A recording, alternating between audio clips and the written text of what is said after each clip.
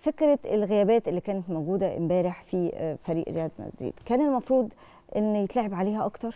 يعني دي كانت بتدي أفضلية أكتر المفروض للاعيبه الأهلي مع الإرهاق اللي هو المفروض يكون برضو حاصل لريال مدريد بعد مباراتهم وبعد سفرهم وانتقالاتهم. أتفق معاكي كان لازم يبقى في ضغط أكبر بشكل كبير جدا على بعض الغيابات اللي كانت موجودة في ريال مدريد. تحديدا طبعا في الجبهه اليمنى كان كارفاخال كمان حتى ما كانش ضمن المصابين ولكن أصيب قبل المباراة على طول. فلاعب ناتشو اللي هو المدافع back right كنا المفروض نضغط بشكل أكبر. كمان غياب بعض اللاعبين زي تيبو كورتوا حارس المرمى. يمكن إحنا ما هددناش لونين بالشكل المباشر في اللقاء. هو شال كورتين حلوين جدا الكره من حسين الشحات وكرة من طاهر وباقي الكور كلها كانت خارج المرمى ولكن الكورتين هو تعامل معاهم بشكل كويس جدا. برده ما تعاملناش يعني ما سددناش عليه كتير ما وصلناش عليه بشكل اللي هو الأكبر. ما بين الثلاث خشبات يعني إن أنت كنت تضغط عليه بشكل كبير جدا. كمان غياب كريم بنزيما يمكن امبارح أراح الدفاع النادي الأهلي شوية لأن وجود كريم في خط ضا... في خط ظهر النادي الأهلي هيبقى صعب جدا جدا لأن كريم بنزيما من أفضل المهاجمين في العالم في الوقت الحالي. يمكن لوكاس فاسكيز وإيدر ميليتاو كلها غيابات عادية يعني قدروا إن هم يعوضوهم في ريال مدريد. في اللقاء. روديجير قادر إنه يلعب ماتش كبير جنبيه. آه طبعا كان موجود يعني في وسط ملعب لوكا مودريتش وكروس وكان عدد كبير, كبير جدا من اللعيبة قدرت إنها تقدم مباراة كبيرة جدا.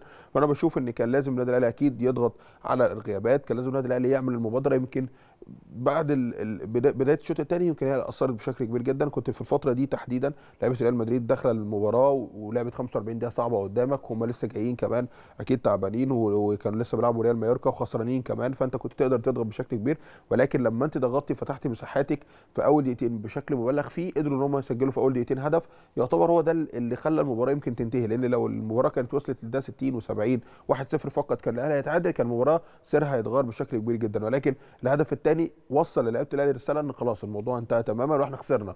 فنحاول نجيب حتى جول فقدروا يجيبوا الجول ما قدروش طبعا يحافظوا عليه بعد كده. فأنا بشوف إن طبعا التركيز مع عدم الاستغلال الغيابات لفريق ريال مدريد ده اللي خلى أكيد النتيجة بالمنظر ده. امبارح لقاء كولر أنشيلوتي.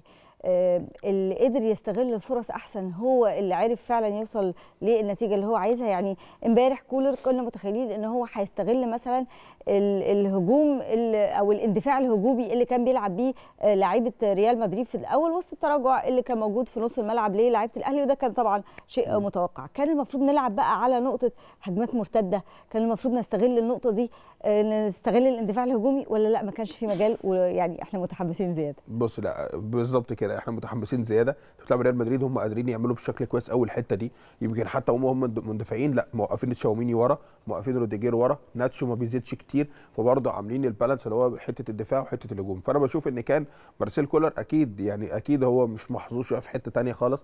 وهو إنه ما عندوش مهاجم بيخلص. الأهلي محتاج راس حربة يقدر يخلص ويترجم الفرص لأهداف. بس هو طلب وطلب أكتر من مره كتير جدا. والاهلي والأهلي ما نجحش إن هو يجيب مهاجم. تماما. يعني الأهلي ما نجحش إنه يجيب مهاجم تماما في السيف ولا في الشتاء. يمكن الأهلي في الصيف اللي فات حاول إنه يجيب مهاجم ما عرفش وفي الشتاء ده حاول أكيد يتعاقد مع مهاجم ولكن ما عرفش. سواء بقى مغالاه بعض الأندية. أنت برضو رايحة في شهر يناير عايزة تتعاقدي مع مهاجم يكون جامد جدا ويكون قوي جدا فده بيخلي الأندية تغلى عليك. يعني اللعيب اللي أنت دخلت معاه في مفاوضات كبيرة كان جاكسون موليكا لاعب بشكتاش التركي. النادي طلب فيه 7 مليون يورو. أنت مش هتقدري تدفعي الرقم ده لأنك أنت محددة أصلا للمهاجم 2 2 و300 مليون يورو. فرقم من 2 ل 7 ده مستحيل يعني. فأنا بشوف إن الأهلي كان لازم يبص بعين أكبر من كده على المهاجمين اللي موجودين. مش شرط أجيب المهاجم الاسم لكن ممكن أروح أتفرج فيه زي ما شمال أفريقيا بتعمل زي ما الوداد بيعمل زي ما الترجي بيعمل زي ما كل الأندية بتعمل. بيجيب مهاجمين صغيرين في السن 21 و22 سنة بيقدروا يبقوا مميزين جدا 3 4 سنين في الأندية ثم بينتقلوا لأوروبا وبيستفيد منهم النادي مستقبلا. فأنا بشوف الأهلي محتاج لازم وضروري وحتمي تعاقد مع مهاجم أجنبي خلال الصيف الجاي. أنا مش عارف كولر هيكمل الست شهور اللي جايين من غير رأس حربة قوي إزاي. أنا مش هلوم على شريف مش هلوم على كهربا مش هلوم على بيرسي تاو لأن الثلاثه برضو مش مركزهم الرئيسي المهاجم. يمكن الاهلي ما عندوش في ال squad بتاعه تماما راس حربة اللي هو الرئيسي راس الحربة مهاجم أساسي في الفريق بشكل كبير جدا. الاهلي دايما بيعتمد على اللي جايين من تحت سواء حسين أو كهربا أو حتى قفشة أو حتى موجود طاهر أو كل اللعيبة دي أو بيرسي تاو ولكن الاهلي محتاج جودة لعيبة معينة في حتة مركز راس الحربة. أعتقد كمان الاهلي محتاج للعيب رقم 10 أو كولر يستغنى تماما في طريقة لعبه على اللعيب رقم 10 لأن قفشة بقى له فترة يمكن على سطر وبيسيب سطر على سطر وبيسيب سطر ويمكن امبارح في المباراة كان يقدر يلعب مباراة أكبر من كده كان يقدر إن هو يستحوذ على الكورة بشكل أكبر من كده لأن كولر برضه أنا ما أقدرش ألومه ليه؟ لأن هو منزل قفشة عشان يقدر يلم الكورة وعشان يستغل اللي حضرتك قلتيه بس هو كان له برضو يعني فكرة خروج الشحات في الوقت ده فكرة في حاجات آه، عليها. بصي يعني هو كان له في شوية حاجات كده كان عليها تساؤل من قبل الجماهير. في ميزة لكولر وده هتخليني دايما حبه وإيه هي الميزة؟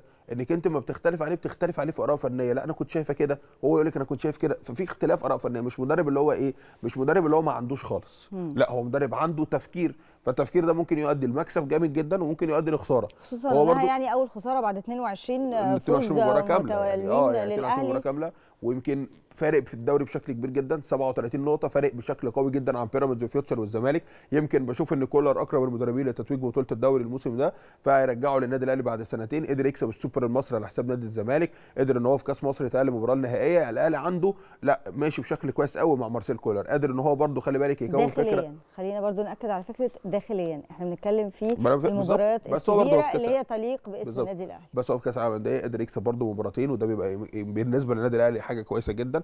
في مباراة ريال مدريد أنت دايما مش مطالبة أنت بالفوز بالمباراه أنت دايما مطالبة إنك تقدمي عرض جيد. وفعلا الأهلي قدم للدقيقة 93 عرض جيد و2-1 لريال مدريد هل ده اللي لعب عليه امبارح الأهلي؟ إنهم كانوا متخيلين إنهم اللعيبة نازلين يقدموا عرض جيد مش ده مطالبين اظن إنهم يفوزوا أظن بالمباراة؟ التفكير كان في الفوز بدليل إن كان بعد كل هدف لريال مدريد اللعيبة بتلوم نفسها لأن هي جوال كلها ما تدخلش هي كلها جوال قدرات خاصة. بس يعني- خلينا نتفق إن امبارح برغم الأربع تجوان ما حدش لمع الشناوي.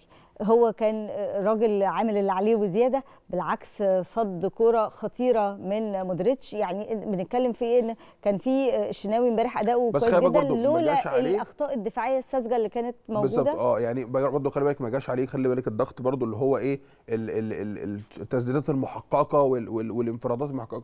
هم كانوا بيقدروا يوصلوا على المرمى بالشكل الامثل. يعني ريال مدريد دايما فريق قوي فريق دايما خط هجومه مميز بي- بيتميز بالفعالية بشكل كبير جدا على المرمى يعني كل لعيب بيبقى باصص عينه على الجول ما بيفكرش بزميله.